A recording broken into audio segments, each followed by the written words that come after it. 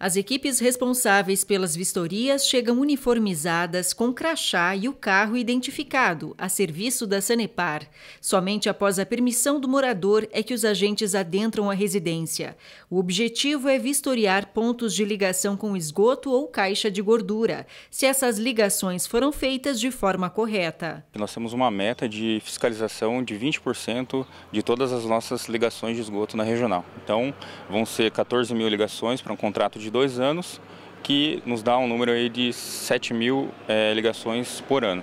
Os agentes utilizam um corante atóxico para os testes. Esse produto é jogado em pias de cozinha e nos banheiros, por exemplo. Se as ligações foram feitas corretamente, esse produto chega ao esgoto ou às caixas de gordura. A gente pede também que a, que a população acompanhe a vistoria para que mostre é, onde estão os pontos que a gente precisa vistoriar, é, os, os, banheiros, cozinha, as calhas, caixa de gordura, caixa de passagem.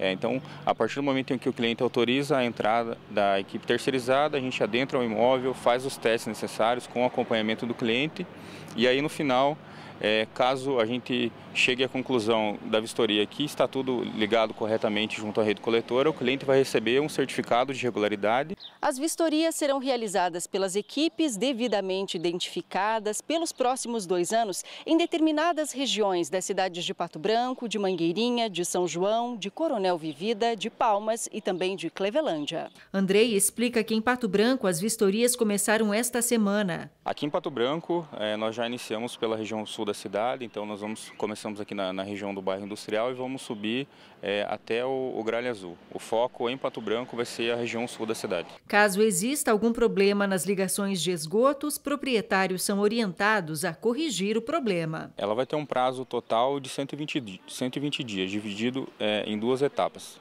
após a primeira vistoria, caso ele seja notificado, ele tem 60 dias para regularizar a situação.